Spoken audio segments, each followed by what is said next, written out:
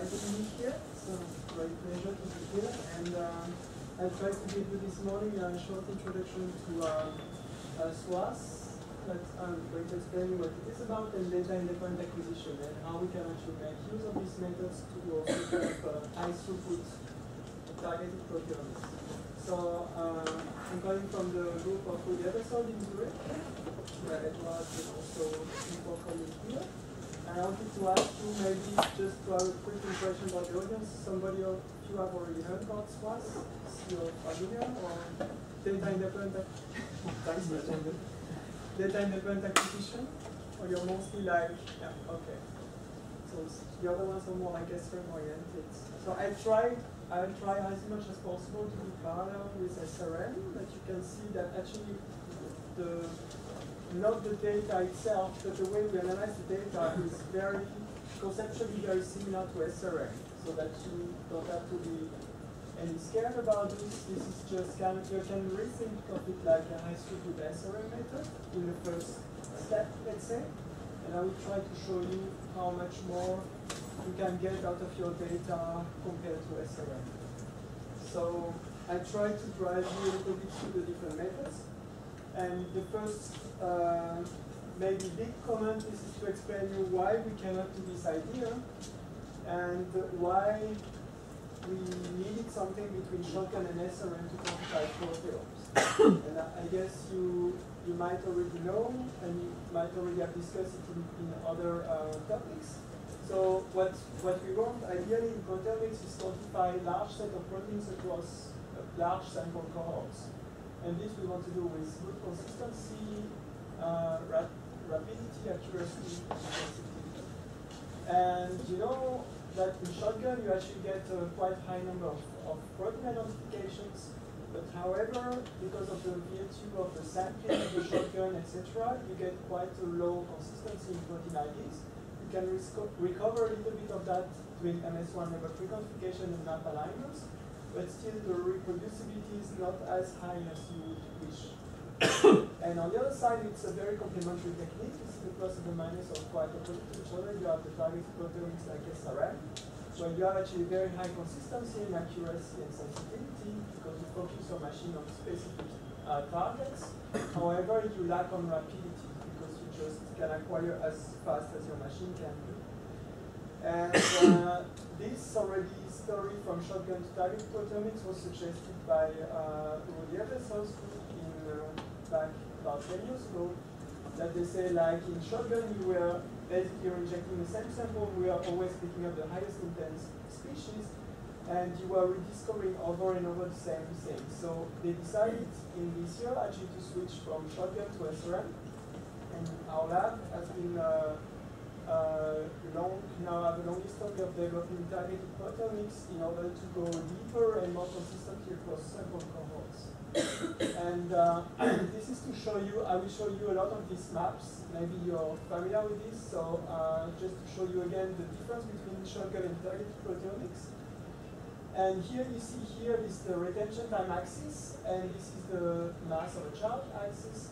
And each time you see these, you know, like uh, uh, what we call MS1 features, so these are basically the isotopic distributions of the different peptides in eating. So the blacker, the, the darker the, the, the, the dots, then the more intense. So you have to think that these basically species are like mountains that comes towards you, and then it so go towards you and then go down. So this is like a 3D representation of the LCMS maps that you get in your samples. So I try to have the same map of uh, peptides analyzed by shotgun and targeted proteomics. You see here that the axis is not that big, it's 600, uh, 450 to 700, and this is about like 10 minutes of retention time. So what shotgun does basically, it tries to figure out what are the most intense species that you see at every single scan. So the scans are in these directions. So at these scans, the most intense species is obviously this one, the PIC4 and SNS. And you see here the red arrow represents the, the acquisition window, so the isolation window where the machine selected the precursors and fragmented for an. And in principle, you see that uh, in shotgun you try to basically uh, acquire as many MSMS as possible for as many species as possible. So you try to cover as much as you can the space of analytes, and you try to acquire as many MSMS as possible as fast as your machine is. So it's a very fast, you get high number of identifications, however, it's not consistent across samples. So if you shoot the same sample exactly the same trial twice, maybe this will not be picked in the second injections, but maybe this species will be picked in the second injection. So this is a little bit the problem because your chromatographic is not so reproducible, and therefore you need to have uh, the, the, this method by itself because it's the machine decides on the fly which one it picks or which one it doesn't pick, and therefore it's not so reproducible in terms of sampling of the of the analyzed inside your samples. And it's instrument driven, so the machine decides on the on the fly, and it's obviously biased towards higher abundance species. So it picks always in priority the highest end species and then goes as low as it can until the speed of the machine is reached. And it's rather low sensitivity because usually because of this you will never manage to get to the low intense species in principle. And the major feature is that basically uh, each MSMS spectra is a snapshot of a different peptide. So you acquire many, many of such MSMS spectra, and each of these pictures is in principle different from each other. And that's the virtue of that's why it's so fast in identifications. So in comparison now you have the targeted proteomics approach. And there you actually basically force the machine take only um, very restricted species, uh, species of your of your sample. For example, here you focus on that peptide, on that peptide, here you don't see very well maybe on that peptide, and here on that peptide. So here you see that it's very different. What you have here is that each MSMS series now is not like a different species, but it's basically the recording of one peptide across the chromatographic dimensions. So you force the machine to take over the, the same picture over and over and over across the chromatographic dimensions. And what you get is basically uh, an MSMS spectra of the same species. So at the beginning there is nothing, and then there is a little bit of peptide coming up. The fragments increase and the fragment decrease when the, when the peptide is gone. So basically here you acquire the fragments over time and you use those MSMS fragmentation in order to reconstitute the elution profile of the peptides. So what you get in SRM basically, you don't actually visualize the MSMS, what you do, you actually focus your also your search protocols into specific fragment masses. What you record is basically the intensity of these fragments rising and decreasing depending on the elution of the peptide. So the big difference here is that, as you can imagine here, you get a very consistent and accurate quantifications because you have chromatographic area that you can integrate. And it's uh, user driven, so the machine is not anymore deciding what it wants to do. You're forcing, you as a user is forcing the machine to select the peptides you want. You have a much higher sensitivity because you can focus the machine on very low amount of peptides. And unfortunately, you have a very low number of precursors that you can monitor run. So these are the really like almost completely antithetic uh, methods. One is very fast, but it's not so consistent and not so sensitive. The other one is very consistent and sensitive, but it's not so fast. And uh, just to mention also, our lab has have a long history of actually now uh, using targeted proteomics. And for this, we've spent a lot of time and efforts and money in recording what we call spectral libraries. So you've heard already maybe from Olga about the MTB spectral libraries. The work was also uh, started in our lab with Picotti. And uh, what she started with was yeast. For example, this is the yeast open reading frame, so it's about 6,600 proteins, for which she selected the peptides, did the uh, synthetic, uh, order the synthetic peptides for each of these proteins. So these are many, many peptides, so we comment about the numbers in a minute. She records the libraries on triple quads, on, uh, on the traps, and then you basically manage to get an SRM assay library that you can use for targeted proteomics. So this is to give you kind of an impression about the atlases and the number of assays that we have available in our lab. So yeast, it's about 30,000 peptide assays, covering most, 97% of the yeast proteins. Uh, this is the work of Paola Picotti. The, the human assays, we have about 200,000 assays. This covers 99% of the human proteins. We also have specific, subspecific assays like M glycosides, SNPs, splice variants, which represent which are interesting for us in terms of biomarker projects, in terms of uh, SNPs and splice for like cancer discovery projects, etc. And uh, this was done mostly in collaboration with the former group of Uli in Seattle, Rob Moritz. And you heard yesterday from all, uh, two days ago from Olga about the TB. About 15,000 assets covering also of the protein of. And there are more to come with different SNPs and etc. So we spend a lot of time and effort building those libraries, which are very valuable and you can uh, download basically for your own experiments. And we were wondering after acquiring all these uh, libraries, what's the best use we can make out of those? And obviously, as I told you, you can use it for shotgun and spectral library searching. However, because what I told you, the sensitivity and the speed of the machine, there are many, many MSMS spectra that are not recorded by the machine, so we don't record the low-intent species. And there are too many things which might be missed by shotgun. Uh, SRM was the obvious case scenario where we wanted to use those libraries, and for this, it was, it's, a, it's a very well-working uh, method. However, of course, you cannot apply 30,000 or 200,000 peptides in your SRM, otherwise you spend months to measure your sample. So it's definitely a very good method for high sensitivity and going for low amount species, but you cannot really do a full proteome classification with this method.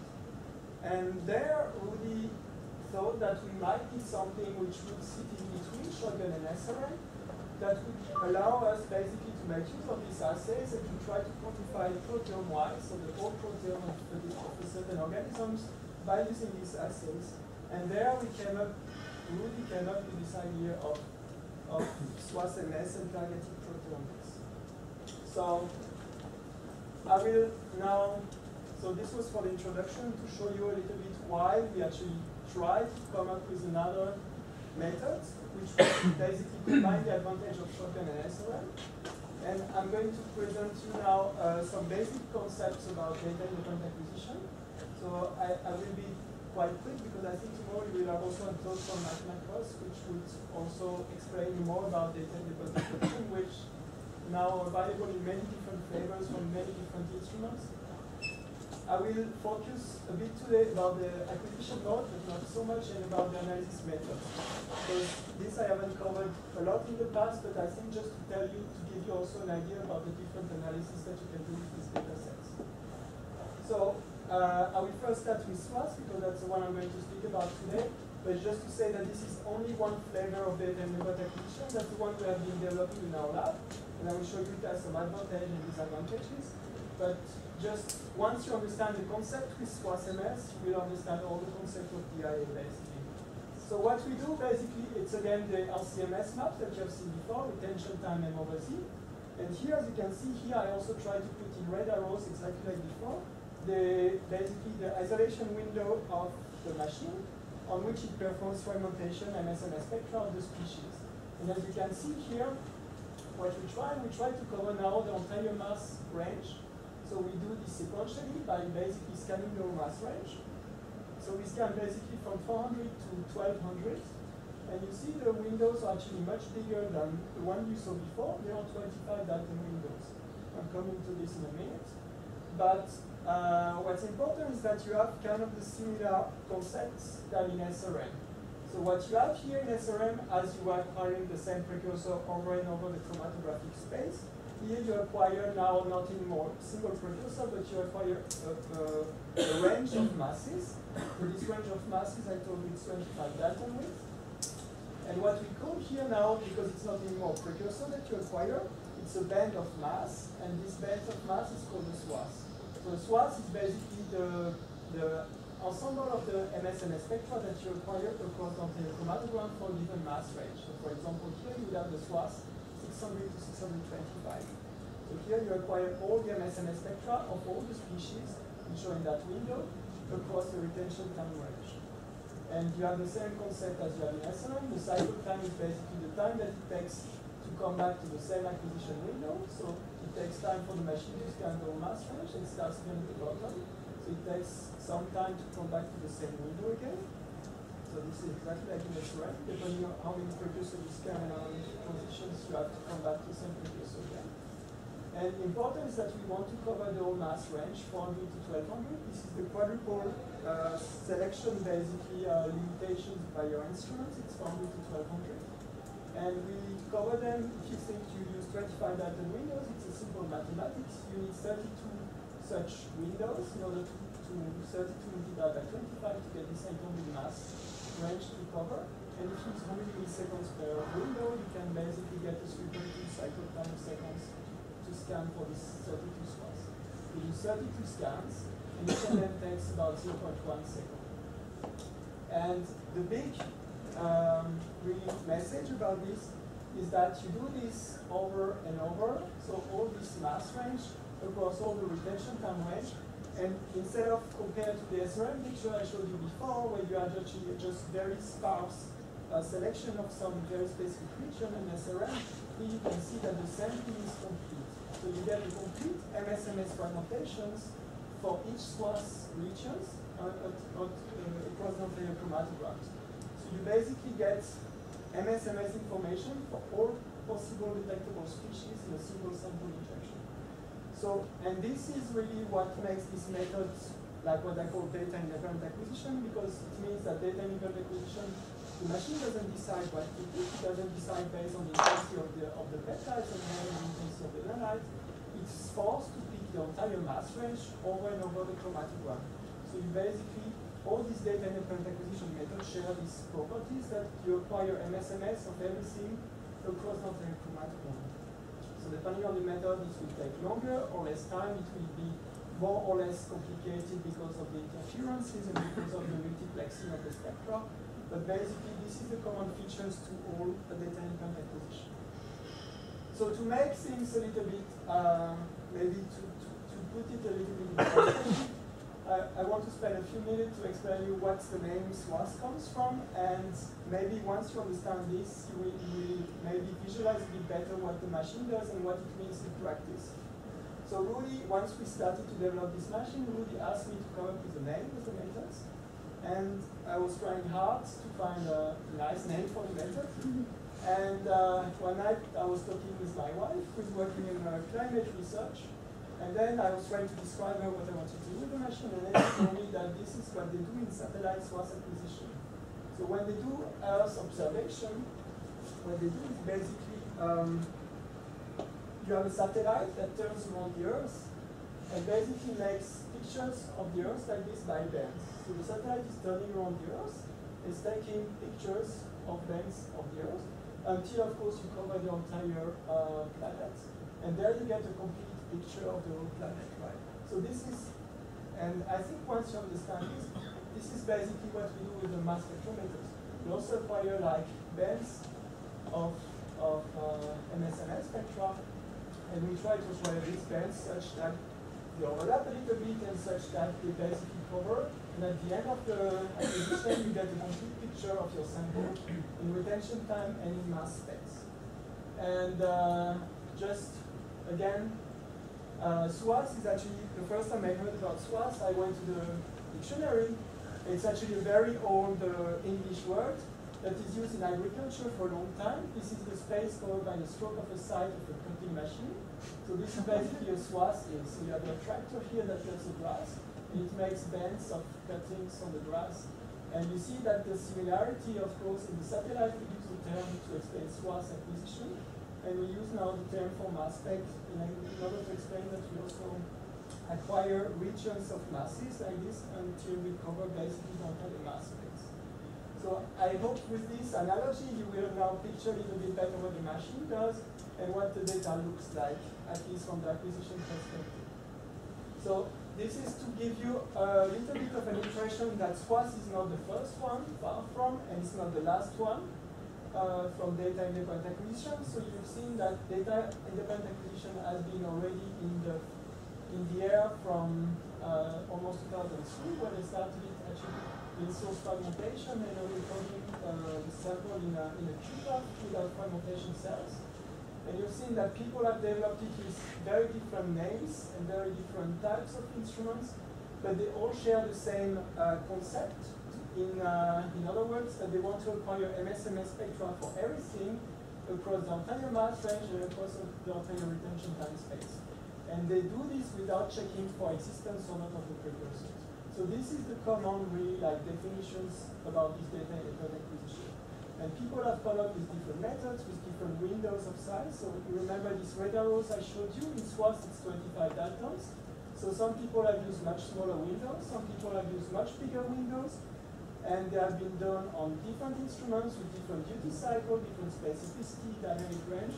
I don't want to enter into the details about this. It's always the same concept. You want to require MSMS spectra of everything over and over and over the chromatogram space. And uh, really the big message, so probably tomorrow you will hear more about these methods by McMaster, especially the new version like this is called MSX, where the multiplex basically also produces different region of the chromatogram, which is a very nice, uh, uh, let's say, extended versions of, of DIA. And the, the basic message is that all these methods have to find the right balance between the speed of the machine the sensitivity that you want to acquire, the resolution, and the specificity.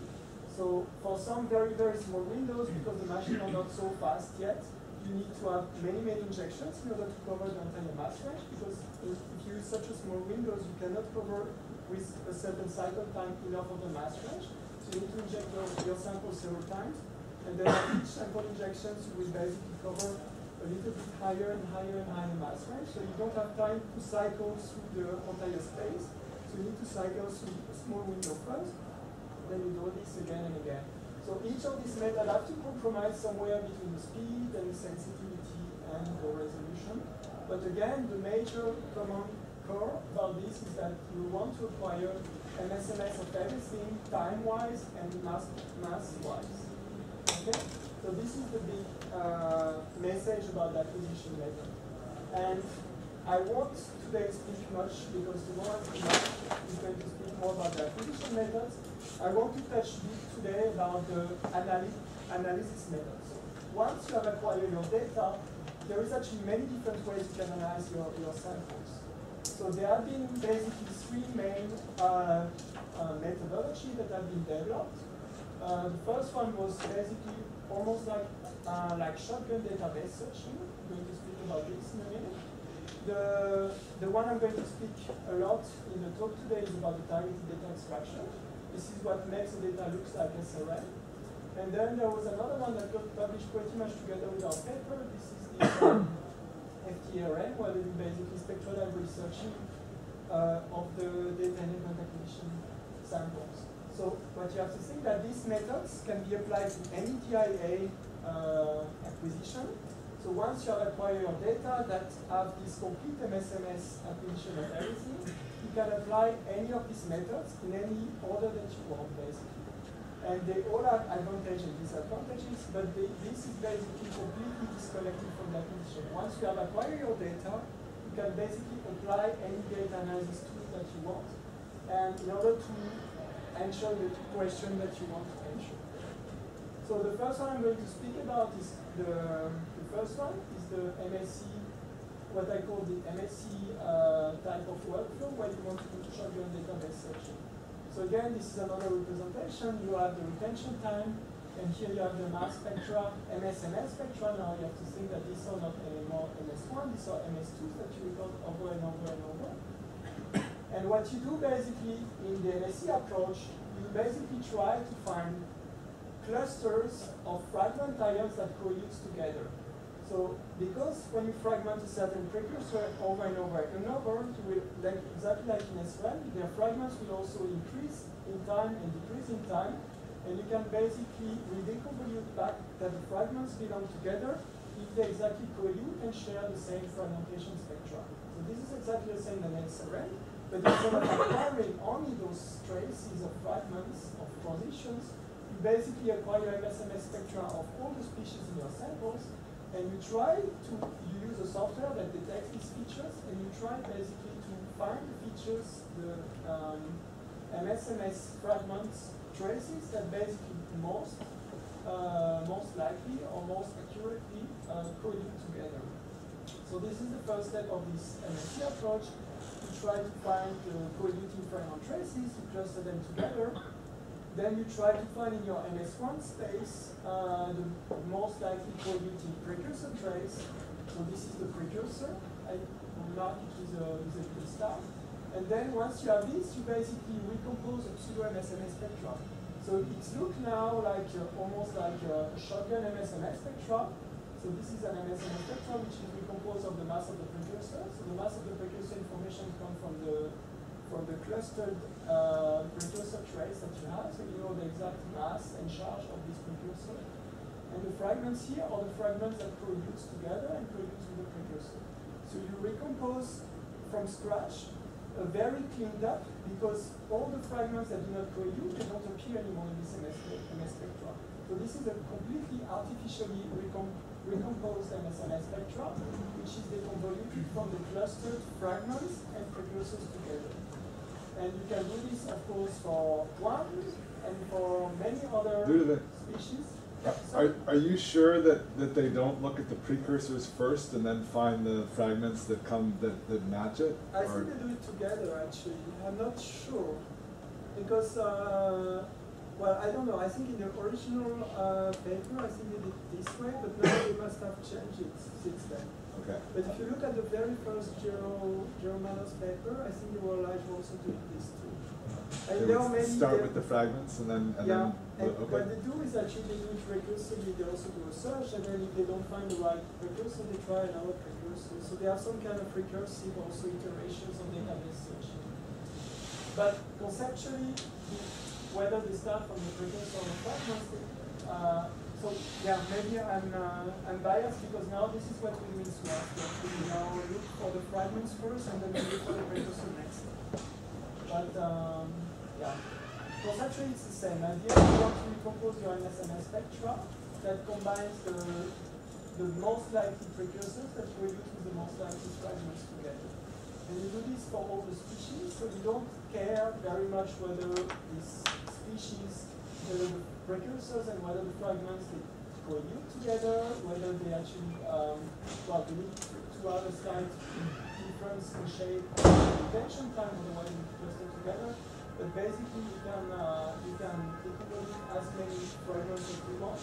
And the next step is basically to do a, a regular shotgun database search where each of the spectra, recomposed spectra, or search an a target in So this is the this was the let's say the starting of the data driven acquisition workflows was implemented by Waters that we call the MSE and this was their major pipeline for searching their data. So this has been around now for almost like 10 years. People in, in Waters, using Waters instrument have been using this MSE. Now with uh, uh, different flavors, now they couple it with mobility, etc. But they still rely on some type of clustering and, and database searching in order to the samples. So the second approach, which I'm going to talk to you, uh, was published almost simultaneously with the targeted proteomics approach. Is is a little bit similar, but not completely. So what you have here, you also rely to some extent on libraries. The libraries might be, I mean, uh, spectral libraries which have been acquired, or maybe also like theoretical fragmentation spectra from peptides. You have tried with both approaches. I think it's working most best is anyway fragmentation spectra that you have acquired originally once at least and to the right user species. And what you try here is basically you want to find the best, the match. So you want to match the spectral library assay under each of these scans. So at each of these scans, basically what you try to do, you try to see is this species present underneath these scans. So the first scan you check, it's not there, it's not there. Oh, there's a little bit of fragments coming here, little fragments. At each of the spectra, you basically check whether this, this, this species, this, if you find under, buried underneath these multiplex signals, you try to see whether you find these patterns. So if you find these patterns, there is no patterns, you get a very bad scoring, and then you get a little bit of more uh, pattern matching, you get this orange, blue, and then green. And then you can basically uh, use the use of simple scoring, which is basically a dot product. So if they have a good correlation with this uh, with this assay that they search underneath the multiplex spectra, they get either a bad dot product the dot product increases and then gets better and better. This is where most of your peptides elute and fragments. And then you basically recompose, uh, you don't use any more retention time space, but you're more, more or less using kind of, you're transforming your retention time into a scoring space, which is dot product scoring. And then you see where is your peptide eluting, it depends where basically your, your scores is higher. So if you have a very complex sample, you might get spikes, which might be completely random at some other places, but where your peptide elutes, you get a very nice kind of peak, reconstituted peak of the product. So you basically, so you do this matching each scan. So for each scan you get a, a dot product score of, of finding the spectra. So this is the probability of finding the spectra underneath these multiplex pictures. And then you compile this elution score basically. And once you have this, you can basically uh, you can basically identify the peptide species. Okay, so this was the second approach. And this is very different than, than MSE in the sense that they don't look for coelution of things first. They basically do this matching for each spectra, and then they, they compute separately the, the score uh, uh, elution profiles, and where they find their peptide is where most of the scores are higher, basically. But they don't assume a priori that these fragments coelute, they just basically blindly search for, at every scan, they basically search for the existence of that species. Okay? So it's conceptually different than MSE. And then at the end, you also get identification of your, of your peptide species. And the last approach, this is the one I'm going to speak most about uh, today. This is what we call the targeted extractions. And here you basically also need to start from a spectral library. And here you do exactly like in SRM. You actually pre-select the top let's say, four fragments of that, of, of that spectra that you write in a transition list. Uh, similar, I will explain you a bit uh, later today about how we make these libraries for class. and basically, we basically now don't acquire these fragments anymore like you would do in SRM, but we extract exactly like you would do like an extraction and chromatograms of MS1, we do an extraction and chromatograms of MS2, and then we, we check whether these fragments, they basically coalesce together. So we extract the top four fragments of these species here, and then we check whether these fragments coalesce together. So we basically realign the, uh, we, we extract, so we do extraction and chromatograms of each of these fragments, and then we check whether these fragments nicely coalesce in a peak shape, and if they coelute, we score the coelution, and then we, we check whether this is the presence, uh, we check, this allows us to validate the presence and the existence of this peptide. And the, I want to point here out the major difference compared to uh, SRM is that in the first step you can also use the same basic scoring parameters that you use in SRM that you've seen in the past days. So you look for coelution, peak shapes, relative intensities, etc. But on top of that, because you're using DIA data, you also have access, you see here underneath, what is buried underneath is a complete MSMS spectra. So you can basically open the MSMS spectra at the top of this peak, and then you see it's a very complex spectra, but at least you can check again whether the major fragments, so you're not anymore limited to the top four here, you can basically search for existence of the other fragments, you can validate whether you're using monoisotopic fragments, you can search whether you're using whether they have the right charge state, whether they have the right mass accuracy. So you have basically a set of scoring which is exactly the same as in are the coelution scores.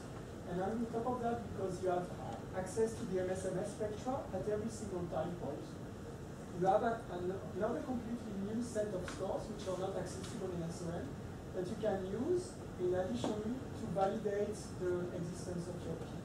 So this makes the system a little bit uh, you, you, you get another set of confidence, let's say, in, a, in, in addition to just the coelution scores in identify your species. So this is the major difference, I would say, compared to SRM. In the first step, what you see is just coelution of traces that you extract from your data. So you don't acquire them, you just acquire everything and then you extract a posteriori your data sets. You extract the fragments you want, you check whether they coalesce, and once you have seen a nice coelution of fragments, you can basically open your MSMS spectra and check and score whether this is actually the right species. So this is a big difference compared to SRM. And this is basically what we call the targeted data extraction. So the data looks very similar to, to SRM. So you get these peaks, and you get an additional level of information that you can always access in your data if you want to come back and validate the identifications. So this is just to show you, uh, if you're interested in DIA, so you will have the talk of mine tomorrow. And I think there is this uh, very, very good review that they got published uh, uh last year from uh, Goodlett and Masselon. And I would, if you're interested in DIA, this is the uh, most extensive review that was published in the past couple of years.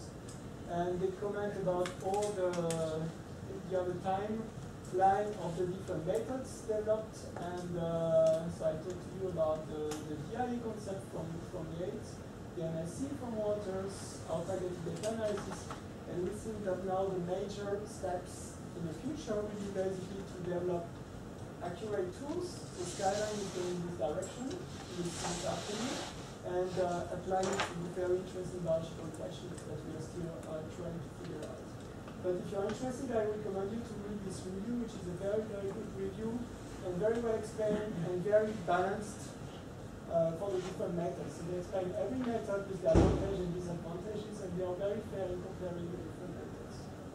So this is all about the data uh, acquisition, and I, I, gave you a short introduction about the data analysis, and I will now focus in the next couple of minutes about the, um, the targeted data extraction. So that's a method that we developed specifically for SWATH.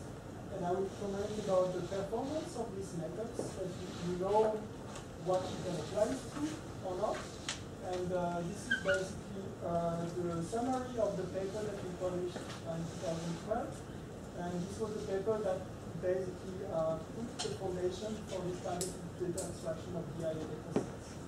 And um, yeah, I tried to explain as well as I could the concept of it, but it's maybe still a little bit uh, yeah, confusing. So if you have any questions, please ask at any moment. So the first thing that we, we, we did when we wanted to apply this targeted data extraction was uh, we wanted to apply this 25 Dalton windows and people thought first time we present this is like you're crazy, you're going to get too many fragmenting species, and that's true we do. But then we wanted to recheck very carefully whether you were, we were in the same specificity range as SRM or not. And this was the first figure of this paper where we basically, this is our simulation we show based on, on, uh, on these fragmentations. So what we look, we, we try to look for occurrence of fragmentary interference with different combinations of precursor and fragment ion isolation windows. So the, for example, in SRM, the typical SRM is, is 07 Dalton Q1, 07 Dalton Q3. So you have a small uh, isolation window of precursor, small isolation window of the fragments, and uh, this is what gives you the selectivity in SRM. So we tried also another SRM, which is one Dalton Q1, one Dalton Q3. So the blue and green basically gives us the, the gold standard SRM specificity range that you see. So the blue and green curves. And in SWATH, we basically now have a Q1, which is much, much larger. It's only 25 Dalton isolation window. But you see as a Q3, it's an artificial Q3, I will explain in a second. But we use now 10 ppm instead of Daltons. And you see here by opening the Q1 and by closing the Q3, you actually recover stress experiment, which is very, very similar to the SRM. While the other DIAs, which is actually uh, larger windows or smaller windows, but is also larger uh, Q3 windows, they don't they fall off very fast in terms of specificity. So the, how you read this, um, this graph is, is very simple. For example, you want to ask your question, if I have a, if I want to analyze my peptide with five transitions, with five transitions, how many peptides can I actually visualize in my data without having one of the fragments which is interfere with another species? So we basically took all the tryptic peptides from list, calculated computationally, so it's a complete theoretical uh, experiment, and we check if the peptides, if both peptides fall in the same Q1 isolation window, if they co-fragment simultaneously, what's the chance that two fragments also overlap in the Q3 windows as well? And what you see here, if you think, if you look at exercise, if peptides with five transitions, you can basically identify 95%, 90 to 95% with SRM, while in SWATH you're also exactly in the middle, while you can basically, with other DIA methods, you drop very fast, you can only identify 60% or 20% of your peptides, which means that only 20% of your peptides here will have uh, five transitions that are interference free that will not interfere with any other peptides for mutations. So this is the basic, the major uh, um, message of this of this figure was basically that in SWATH, by using even using a very large resolution window, managed to contain the specificity and interference to the level of SRM. But the, like the 10 ppm assumption is actually wrong, right? Yeah, uh, yeah. So we do. It's depending on the resolution of the machine, basically. So you can even you can extract your data at 10 ppm, but if your resolution is not at 10 ppm, uh, if your peak width in your SMS spectra doesn't have this resolution, you, you might basically extract two species together. This was uh, like more like an exercise type of things. But I mean, we, You're we're, right. we're all using like 50 to 100 really in practice, right? I, I mean, that's, that's what Hannes agrees with me on. Well, I'd love to see an update of this Yeah. figure. I use 50, so 50 yeah. 50, you're right at the bottom here. And uh, yeah, so with the new machines, you get higher resolution. I, I'm going to try 10 now, but yeah. I, I, can comment on that maybe later with the drawings that people understand the relationship between this is something that is confusing sometimes the relationship between mass accuracy and resolution of the machines. That is no point to extract with a very you can have a very high mass accuracy. So all these are designed on keytones or other instruments. You have the mass accuracy of 10 ppm. But if your peak width is not big enough, you basically don't have the. So you're aware about the resolution. So this is what we call the resolution. It's basically the peak width at half age, right? So you can have a very high mass accuracy precision of your measurement. For example, very high precision of the measurement here at the top of the peak.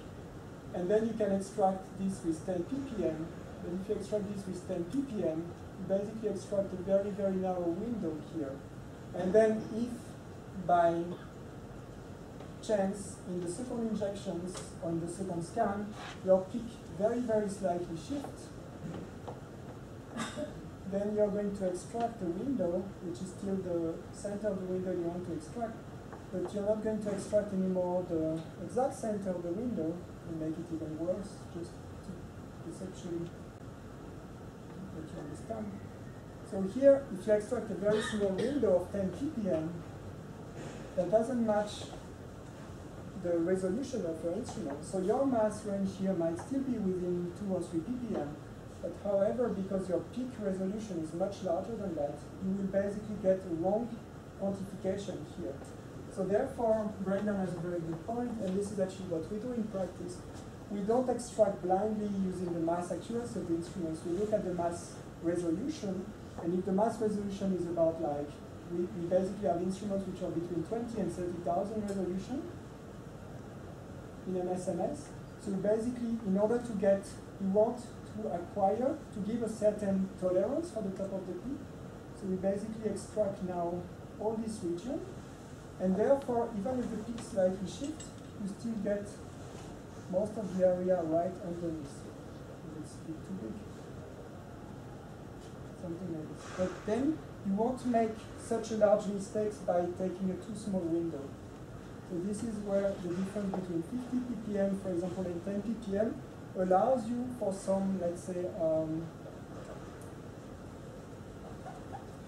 some uh, tolerance in terms of mass accuracy. So this is something that you might want to look into your machine, what's the resolution you can accept, and you want to extract not too narrow, just at the top of the peak, because it's going to be very noisy and very shaky in terms of quantifications, but you rather want to extract a mass range which is consistent with the mass resolution at your right?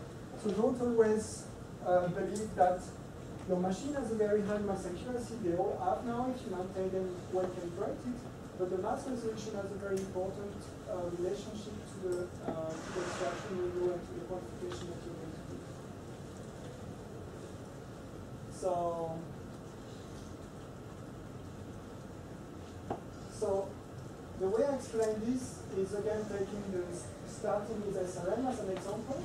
And as you can see here, so again you have the, the standard SRM, triple particles, Q1 filter, Q3 filters. So you filter, you have a lot of precursors that they use from your column at every single time. But because you use a very small filtering of the Q1, you basically get one or two maybe by chance that pass through the first filter, the fragments together, and because you use also very close filter for Q3, you basically get one or two sometimes fragments that comes out of the filters. So what you measure in SRM is basically transition, one, two, three. So sometimes you have transition which are clean, sometimes you have transition which are contaminated. So this is what makes the shoulders in your SRM peaks typically if you're used to see SRM traces. So these transitions can also be contaminated in SRM because you have seen how noisy sometimes the signals could be. And the idea is that in SWATH, we now open the Q1 filter much larger. So instead of having two, one or two species, we have 10 or 20 species together that gets through these 25 different species. They co-fragment all simultaneously together. But then, since we don't use the Q3 filters, but we use a TOF mass analyzer, an Orbitrap, for example, which you do on the Q exactive, you can basically get this extraction ion chromatograms, exactly what I showed on the blackboard, on the whiteboard here. And you can basically uh, just restrict yourself in the MSMS space to whatever you want. So now instead of adding uh, one Dalton in the MS2 range, you basically have a much narrower window in MS2 range. So some of the transitions that were contaminated before in SRM, you basically get them uh, transition free. And of course, this is only one part of the equation because the, the fragmentation spectra is highly multiplex, so you get MSMS fragments of, of many more species than you have in SRM. So of course, you have uh, also, by chance, uh, transitions of your peptide, the green peptide that was also contaminated by other species. But the good thing is that because you have the OMSMS spectrum, you still always have the chance to select another contamination-free you can do this also, I will show you later, a bit recursively. So as soon as you find a contaminated transition in SWATH, what you can do, you can remove this transition and add another one. So this is really the big advantage that you have basically more options in the MSMS space in order to, to pick the transition that you want to quantify and to, to use for identifications. So I hope with this you, you see a little bit the similarity and when I'm speaking about like what's the specificity, so how many how many peptides can you observe with two or three transitions in SRM and how many peptides can you observe with two or three transitions in SWATH. At the end, the number is very similar because even though we open much more the Q1 window, we close so much the Q3 window that we basically narrow what the space of what we observe in the MSMS spectra, and we also do have definitely a lot of contaminations. There are ways in the machine side, like the MacCoss group has developed to try to reduce this as much as possible. But the, the big message is always that you have the whole MSMS spectra, and then you have basically more chance to have basically uh, contamination-free transitions, and um, as much chance that you have in SRM basically. So this was the first message. The second message, I don't want to spend too long about this. It's for you to know that SWATH is not as sensitive as SRM. I'm never going to claim this. It's about 10 times less sensitive than SRM, but it's more sensitive than shotgun identification. So you lose basically the identification of, of shotgun peptides. The peptide is not picked anymore for MSMS spectra around one femtomole while basically in MS1 level 2 you can still detect a bit of the precursor, one or two steps is more, but it's not anymore fit for, for, for MSMS identification. So the detection limit in MS1 level 2 is to see the precursor sub-femtomolar, and in SWATH, because we're looking for fragments, you actually have another little bit of more sensitivity, and you're a little bit more sensitive than, than MS1 uh, on the precursor level. And then SRM, I don't have the SRM plot here. SRM is one step more below. So basically, I have you have about 5 to 10 fold more sensitivity in SRM. This is clear because in SRM you spend more time and more focus on the precursor you want, so you have a little bit uh, more sensitivity in terms of dynamic range, etc. So SWATH, I would never claim it's as sensitive as in SRM, it has other advantages, but it's just to tell you that SWATH in sensitivity, sensitivity-wise, it's in between really shotgun and SRM. So SRM is still always the most sensitive, and SWATH in between. And uh, the last figure of this paper was basically uh, an example of quantification of the sets of proteins um, uh, involved in diauxic shifting yeast. And then we quantify two different time points of diauxic shift, an early and a late time points after the diauxic shifts, and we basically quantify the proteins involved, and we see the upregulation or downregulation of certain proteins to turn on and off the diauxic shift. And we compare this quantification accuracy to the same the same assays used also in SRM, and we actually find a very good correlation in quantification uh, between SWATH and SRM. So this is basically the message of this paper was we are in principle as specific, not quite as well, not quite as specific, but almost, not quite as sensitive, but you can also achieve the same similar um, um, detection accuracy and detection level as in SRM. So this was the proof of principle by using a very small number of peptides and a very small number of proteins. So here this is exactly one-to-one -one compared to SRM. So in the next couple of slides, I want to show you why SWATH actually bringing something more than SRM. And the big advantage is that, I don't know if some of you have already done SRM, once you have quantified your first pathways, and then you, you as because you're a biologist or another biologist for which you, measure this protein, say, oh, it's nice, but you know, this protein is also involved in another pathway, and I want to measure this other pathway. You say, but it's too late. Now your data has been measured in SRM. I have to remeasure everything again with another set of samples. And um, that's the beauty of data independent acquisition is basically that you don't need to reacquire your data. You have MSMS spectra of all the species.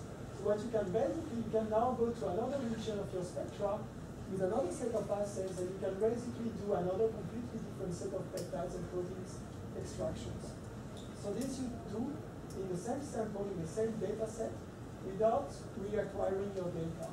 So this is to me a big advantage compared to, to SRM, is that once you have acquired your data, you can basically try to query it as many times as you need in order to extract new information without needing to reinject the sample. So this is really like a big advantage compared to SRM, while in SRM you're stuck with the one that you acquired and you cannot go beyond that.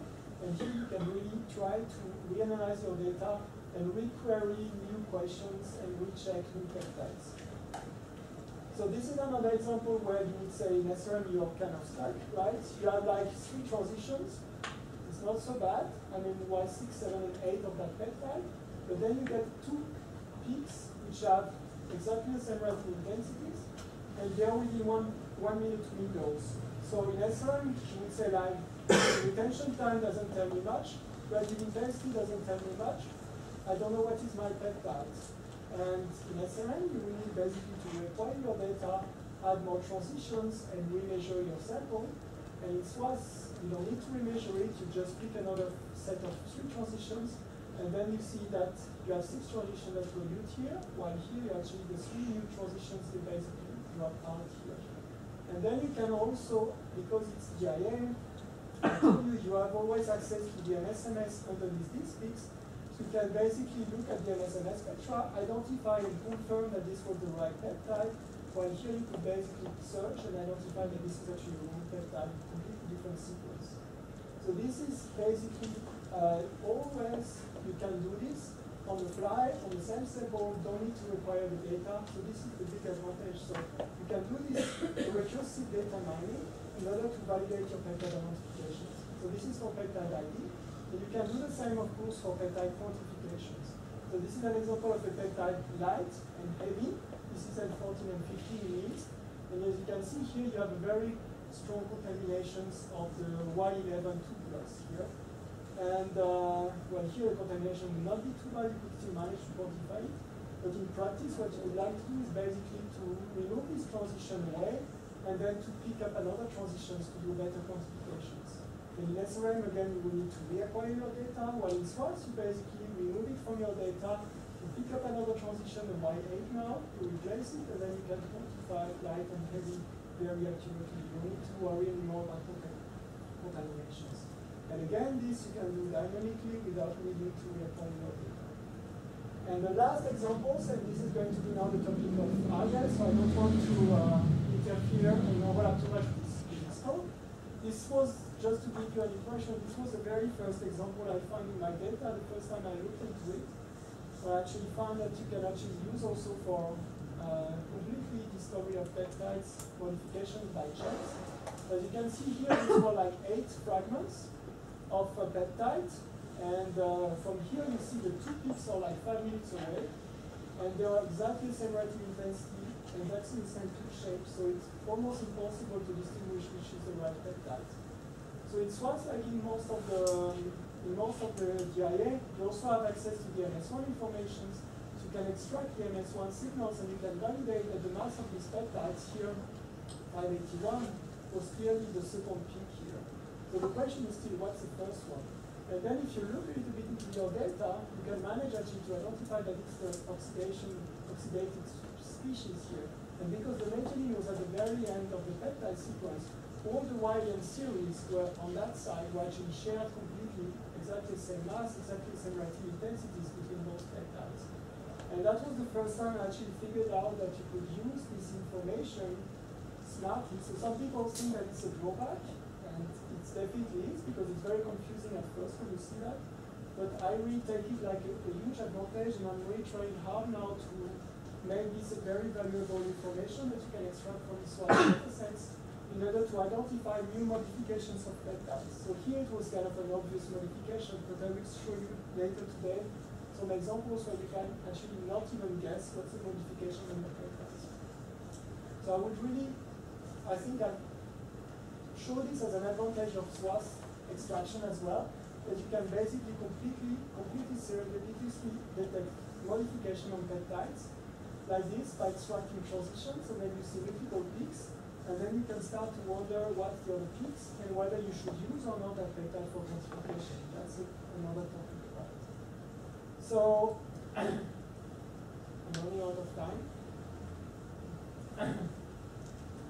so this is to show you that now, because we are speaking about high throughput targeted proteomics, you basically don't, you cannot really afford to do this by hand anymore. Like in this one, you do like 100 targets, you check them by hand on Skyline, etc.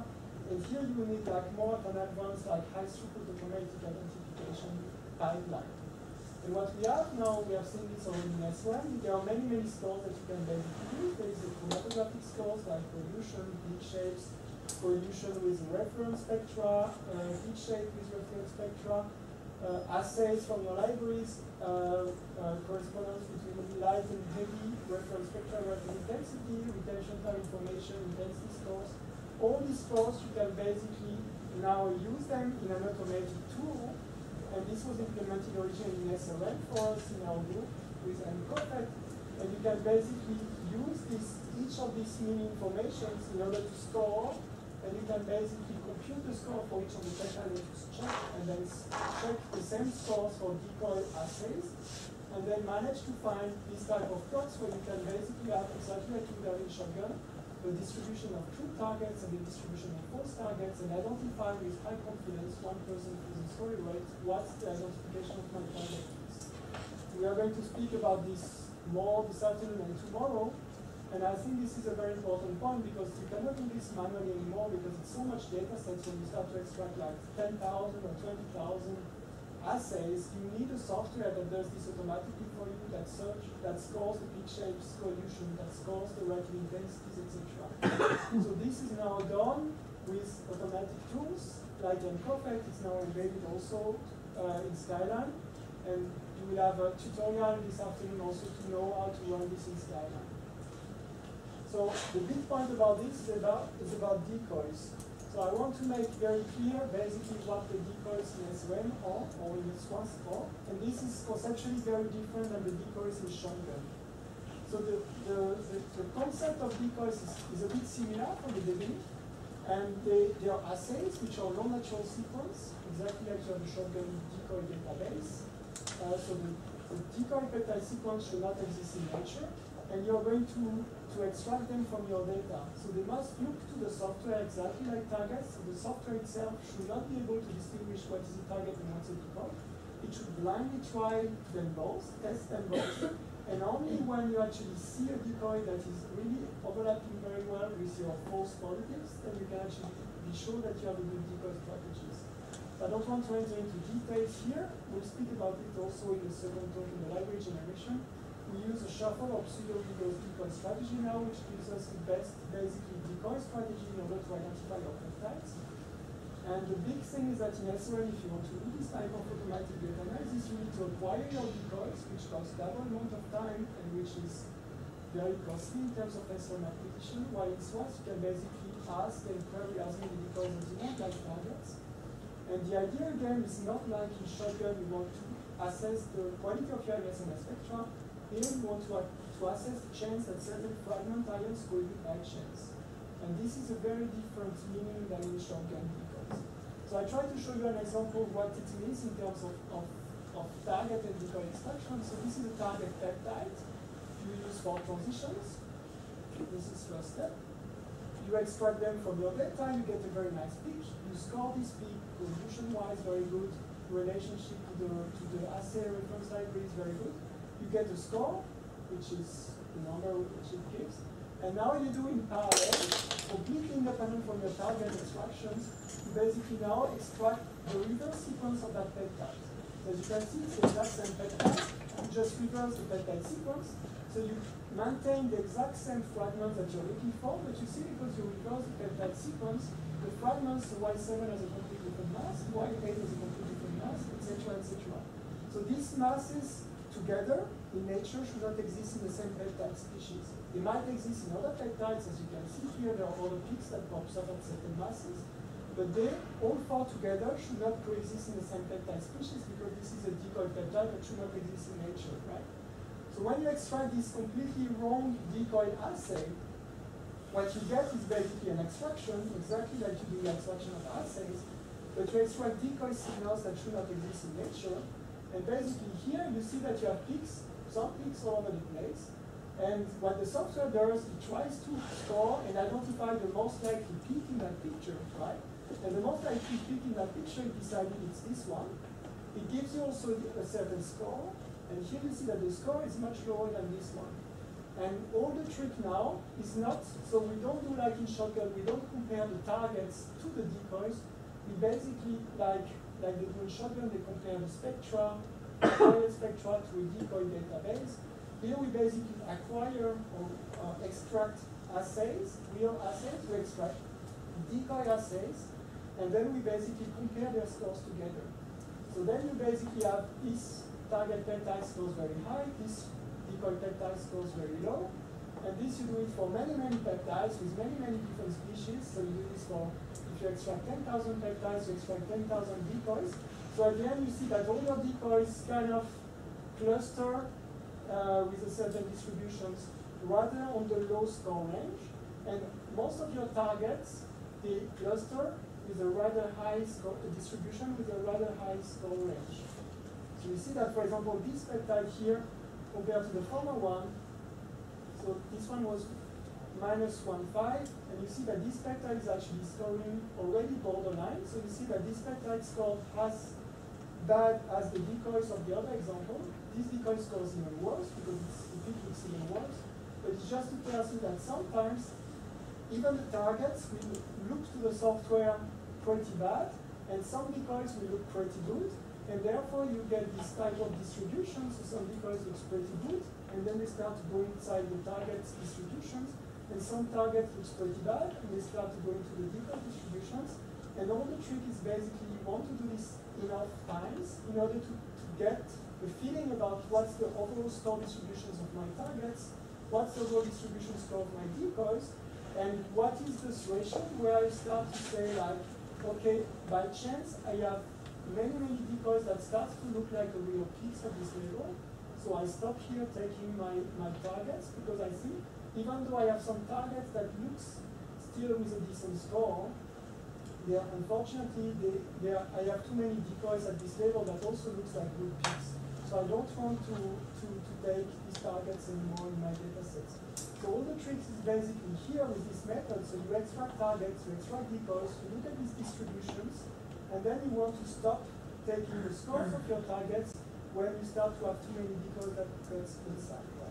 So at no moment you compare directly targets and decoys. I want to say you really compare globally target distributions, the decoys distributions, and there is no match between targets and decoys like you do in shotgun, so it's conceptually very different. So each of them are considered like independent says the software doesn't have any way to distinguish those, it just scores them completely independently from each other, and it's only ideal that you manage to make sense out of. So this is very important for SWATH, this is very important you this also in SRM. Conceptually, it's, uh, it's the same, but I want you to emphasize that it's very different than shotgun database. And the big difference is, is this, is basically that if you do a shotgun database, you have good quality spectra that will mostly match your target. The medium quality spectra will have certain propensity to match also to the decoys. And the bad quality spectra, which are very, very noisy, etc., by definition, they are random matches and they can randomly match 50% chance to the targets and 50% chance to the decoys. So this is the concept in shotgun, right? And this is something that everybody is very familiar about. And this reads out basically the quality of the spectrum. the decoys basically provide you an impression about what the quality of my match, of my spectra against the database. And the big difference here I want to point out is that the decoy captures basically the the size of the database and the search parameters complexity. So the more like variable modifications, the more you increase your search space and the more you increase basically targets and the decoy space. But if you search 10,000 spectra, whether you search 10, one spectra against a certain database and decoys, or whether you search 10,000 spectra, you will search it against the same size of targets and decoys. So the size of the targets and decoys do not increase with the more data sets that you search. And this is very different in shotgun. So I showed you in, SWATH. In SWATH, you basically extract your target peptide, you extract your decoy peptides. And now the big problem is that if you do this, your decoy is basically what it gives you. It gives you a feeling about the sample noise that you have in your samples. So basically the decoys tell you what's the chance that four transitions in that mass region, in that time regions, by chance together. So if the chance that random transitions collude with a good score is as high as my target, then you can say I don't trust anymore my target, right? So this is what decoys is about in, in SWATH and SRM. So the decoys do not capture anymore the, the search parameters, captures really the background sample complexity. And the big problem here is that the number of decoys increase with the number of targets. So here, whether you search one test spectra or 10,000 spectra, you're going to match to the same size of targets and decoys. While here, when you search one target, you will compare it to one decoy. And if you search 40,000 targets, we compare to 40,000 decoys. And this is very important. When you do this, you have to correct for multiple hypotheses. And this is a very important uh, thing to do here because the size, the number of decoys that you're extracting is increasingly, is dynamically increasing with the number of targets that you extract. So this is something which is very important. Conceptually, the decoys capture very different concepts than in SWATH and in, in shotgun. And therefore, you need also to think about them a little bit differently. So this is not a match. This is really a specific assay that you score, and it gives you a feeling about the, the sample complexity in this region of so I'm not going to speak about the software. So Skyline is the one that you're going to use this afternoon. Now they have embedded and implemented all these scores, and you can do this automatic scoring and distributions you will see this afternoon. And this is to show you that now the method starts to be used in high throughput manner in our lab. So is our paper from our lab. These are human uh, affinity purification samples. Uh, glyco capture, so glyco enrich. This is the streptococcus, yeast, uh, the data from it's MTB.